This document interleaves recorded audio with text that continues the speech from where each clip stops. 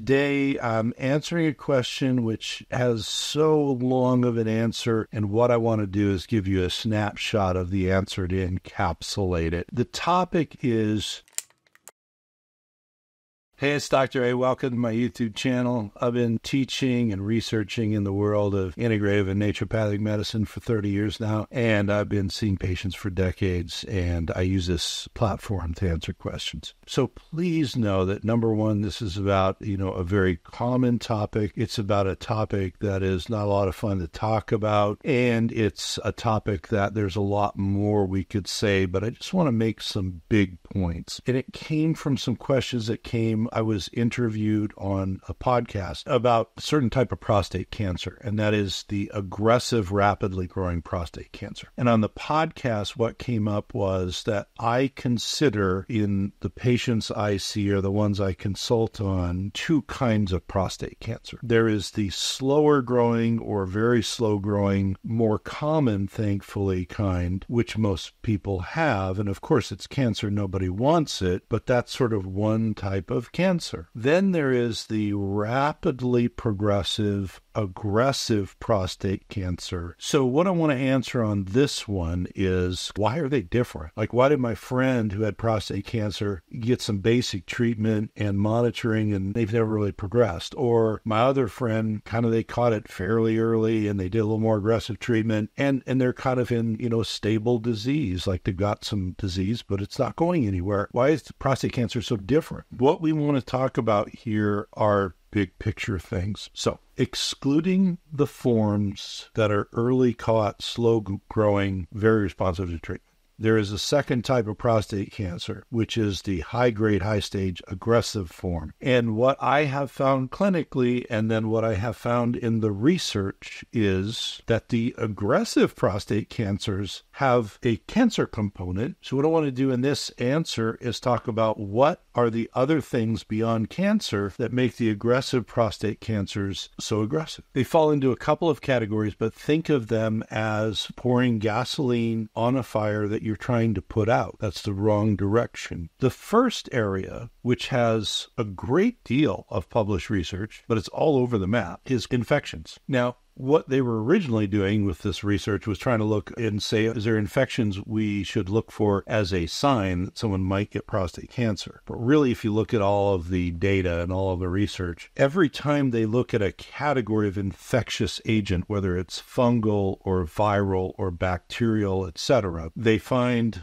groupings of different types of infectious agents that are associated with aggressive prostate cancer. So it's less about probably that bug causing the prostate cancer, and it's more about they're pouring gas on the fire. Well, how are they doing that? The infections are often resident in and around the prostate, seminal vesicles, all of the apparatus down there, and even the local lymph nodes, etc. But what would an infection do? Well, it depends what kind. Viral infections can actually change the nuclear activity in the cells and make them more prone to cancer. We know that from cervical cancer, etc. Viral infections, bacterial infections, fungal infections, protozoal infections, other things, though, also associated with advanced aggressive prostate cancer also keep the fire going by altering the milieu in which the cancer cells live, meaning they make it a pro cancer milieu because they are infectious and there may be an immune war going on that creates an infectious immunologic situation that is pro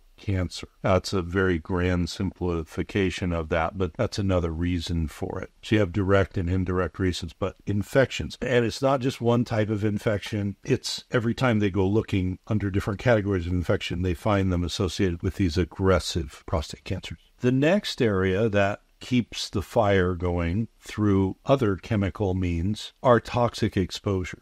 What we have found over the years, and there's also data to support this, but we certainly noticed it as a trend long ago, was that our patients that would have that aggressive prostate cancer that would blow through the treatment, so we would have to do all this other treatment with them, often had, you know, career long or very highly punctuated exposures to chemical toxicants, some metal toxicants and potentially other toxicants, but mostly chemicals and metals, as far as we know know right now. There's also a subcategory that has less research on it, which are biotoxins, which would be like mold mycotoxins. And that's because some of those are actually immune suppressant. So if you put an immune suppressant in and your immune system's trying to, you know, push back on a cancer, it may work out such that the immune system stops pushing back and then the cancer can flourish. But what about the other things like chemical or metal exposures? Chemical and metal, metal exposures are well known proto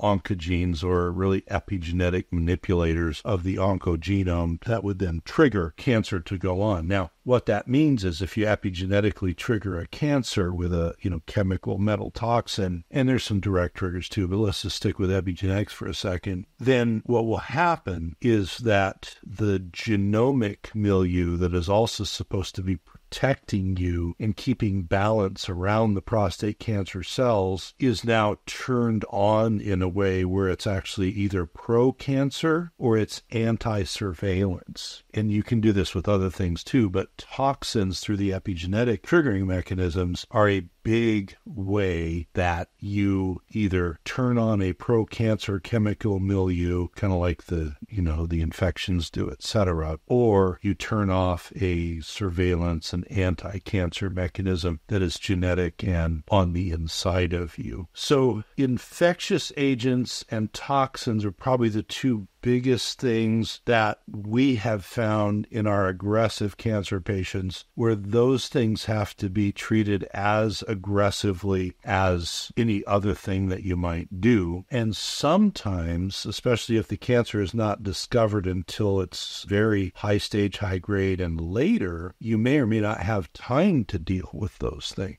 But the bottom line is if you don't have the first type of prostate cancer we talked about, which is early stage grade, slow growing, we stop the growth, whatever, all the good ones, and you have an aggressive prostate cancer that is seeming to work through all of the standard treatments, you need to take a step back and look at what could be pouring gas on the fire and what can you do to work with an integrative cancer practitioner to work on these other areas. Obviously, you have to work on the cancer too, but you need to work with somebody who can maybe come in alongside and work on helping you decrease the amount of toxins that are coming in your body, but also increase the amount that are leaving your body work with somebody who can work with either immunologically or through other means to beat down, you know, find first and then beat down the infections that are already there and a number of other things. Now, there's other areas that will trigger this aggressive prostate cancer increase that are, you know, secondarily related, but really the infectious milieu and the toxic milieu are, are really at the top of the pyramid and everything else kind of follows after that. It also comes, you know,